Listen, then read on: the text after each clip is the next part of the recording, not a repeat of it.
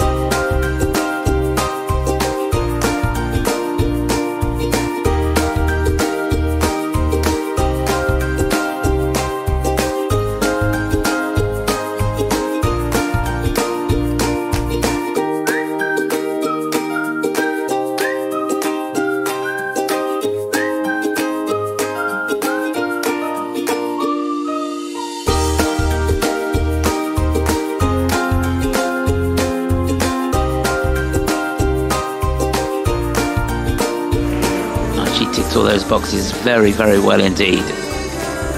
Still smiling under the mask, I'd imagine. Remember, this is her first time at the Four Continents, Champ- Continents Championships.